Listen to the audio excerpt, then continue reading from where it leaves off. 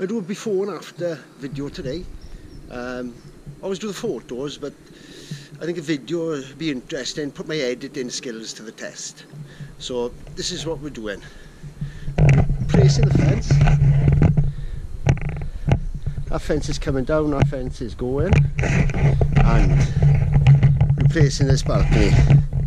It'll be Trex and glass going back.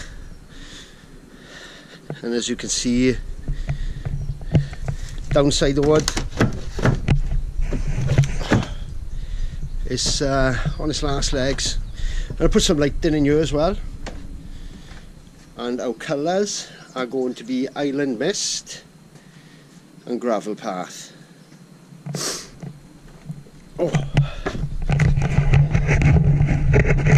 I'll put, um, I'll tr try to edit this now when I finish uh, put um, put the two videos together so you can have a good look at before and after um, which will hopefully be next week if we don't have too much snow.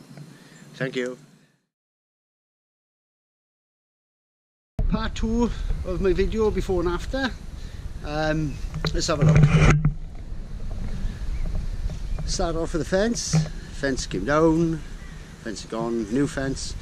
Um, did in the snow I was hard going and uh, here we go. We've got Trex Island Mist um, picture framed in Spiced Rum. This section by here um, the shelf on the front that that wasn't intended. It's um, I had some offcuts so I decided to put them a good use. Here we go. Stainless steel ballast. Put a trellis up on the actual deck. I just didn't like uh, feather sitting on the deck. Didn't look right. And uh, oh, I'm struggling to walk around here because I don't want to walk on the deck. See how like then? Looking good. Looking good. All picture framed. Sweet. Take the old trellis down off the wall as well. Put another one up matching oh garden's a bit of a mess so I just seeded it.